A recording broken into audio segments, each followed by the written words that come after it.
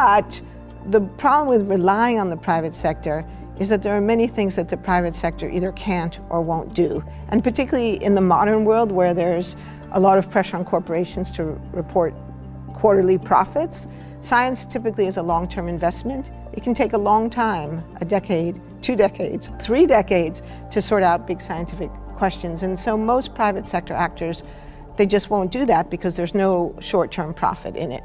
And that's where the public sector comes in. The public sector is able to make the long-term commitment to scientific research to build and sustain scientific capacity so that we have it when we need it.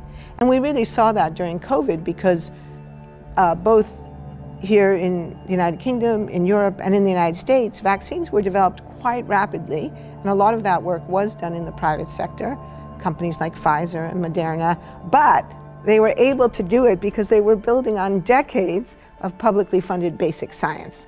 And if we hadn't had that foundation of basic science funded by the public purse, we would not have, the private sector actors would not have been able to achieve what they did. So that's where the public funding is so important, that it's complementary to the private sector. And so that's why you need to have both.